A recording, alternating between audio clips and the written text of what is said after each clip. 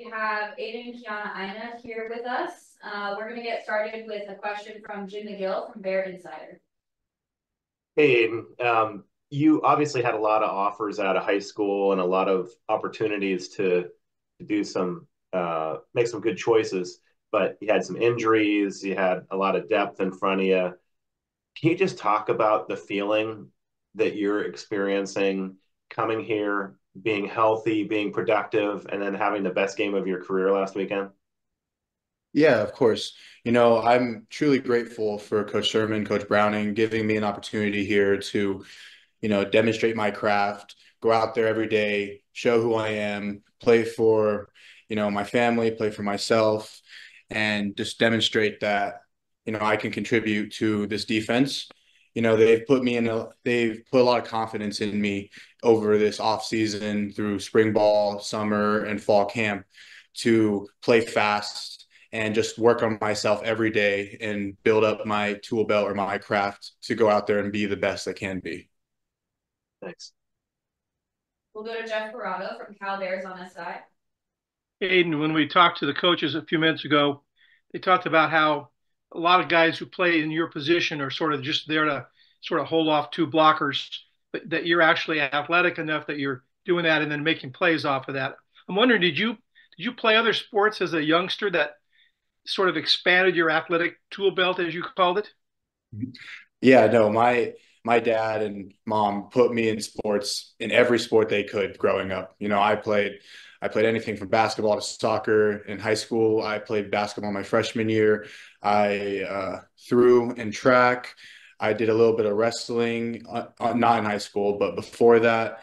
And so I played in a, just a collection of sports. I, I even remember playing in rugby when before high school, and I I believe I was third I was twelve or thirteen, and they I was so big, and they're like, you're not that age. You need to play with the sixteen year olds because they're more your size.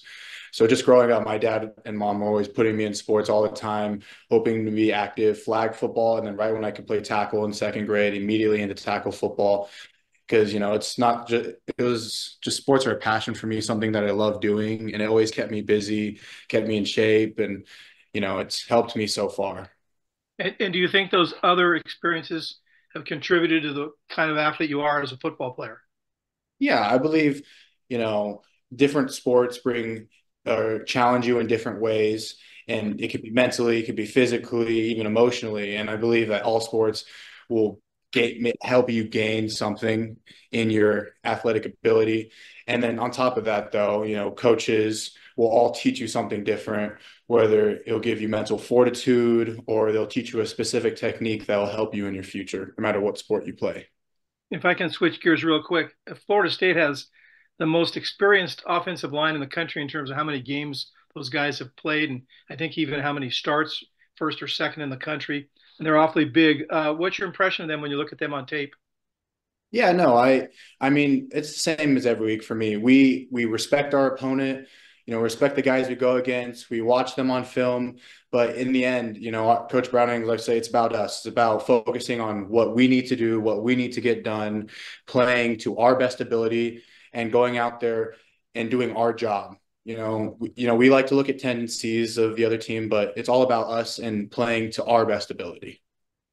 Thanks, Aidan. Of course. We'll go to Matt Moreno from Rivals.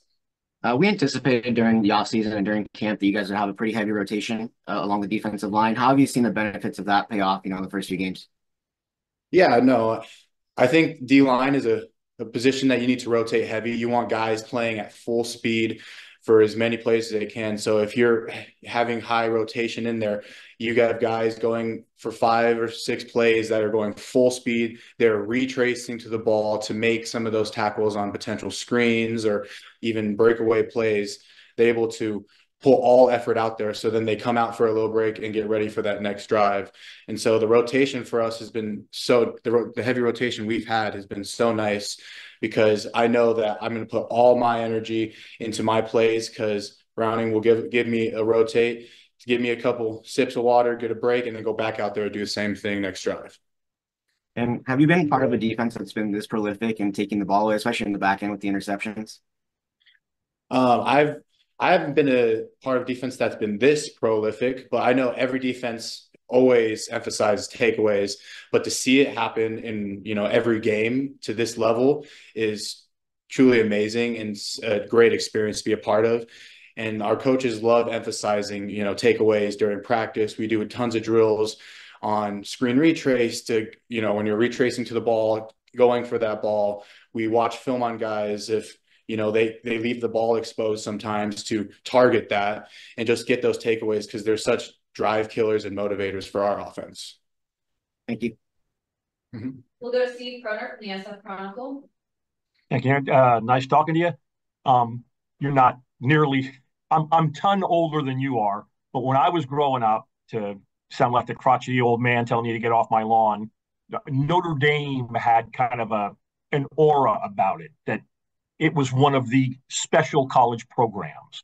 I, I, think it still has, but maybe not quite what it did, say, 30, 40, 50 years ago.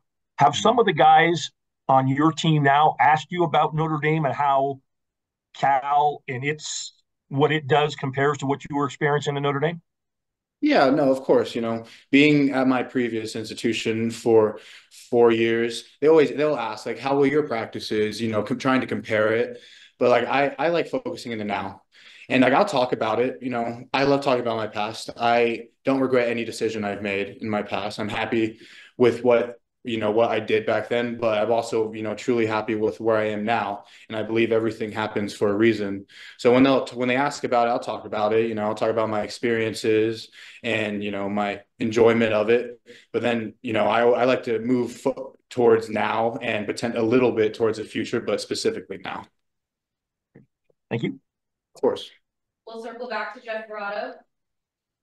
Aidan, before this season, um, you looked at the Cal schedule and you saw that you guys would be playing your ACC opener on the road against the defending conference champion, a team that was 13 and one.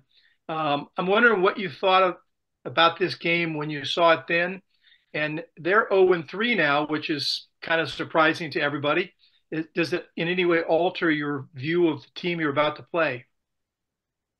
Um, no, I think Florida State has the potential to be an amazing team no matter what their record shows. I think any team can beat any team. It just depends on how you play on a specific day. They have a lot of talent, and even being 0 and 3, they now have a different mentality that could be dangerous if we don't do the things that we need to do as a team. You know, they have a lot of talent up front. They have a lot of talent on their team, and so we need to execute our job on on our side of the ball, and offense needs to execute their job on their side. So then we can go in there, play hard, have a great game, and then come out with the win. All right. Thank you. Of course. Thank you.